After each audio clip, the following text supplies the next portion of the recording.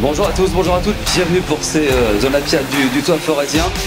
Vous êtes tous des compétiteurs, vous êtes tous des gens qui avaient de l'importance au sein donc, de ce toit forésien et c'est normal de vous récompenser en équipe. On peut foncer aux ateliers qui sont sur les extérieurs.